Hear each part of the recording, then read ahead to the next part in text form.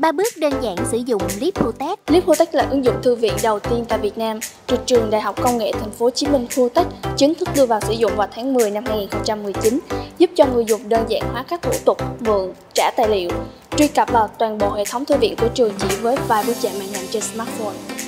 Bước 1. Đăng ký tài khoản. Để trải nghiệm ứng dụng thư viện cực kỳ hữu ích này, bạn đến quầy thủ thư của thư viện để đăng ký mở tài khoản.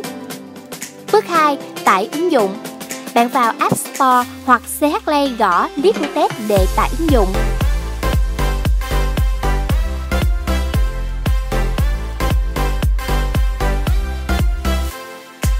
Bước 3. Đăng nhập.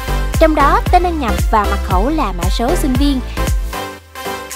Sau khi đăng nhập, bạn tha hồ trải nghiệm các tiện ích của Lipotech như một Tìm kiếm tài liệu, bạn chọn tính năng tìm sách, nhập từ khóa bạn cần tìm như tiêu đề, tác giả, thể loại sách, vân vân.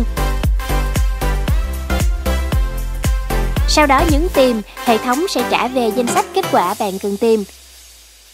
Tương tự như vậy ở các tính năng luận văn, luận án, báo tạp chí và ngành học.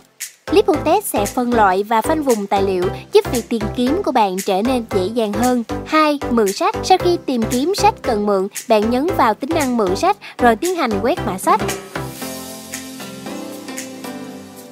Thủ tục mượn sách sẽ hoàn tất sau khi thủ thư quét mã tài khoản của bạn và xác nhận. 3. Đọc tài liệu trực tuyến.